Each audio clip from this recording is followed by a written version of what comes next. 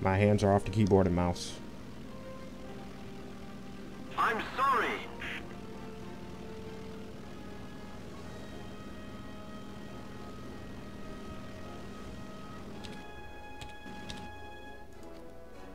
Let me see if it's just for this plane.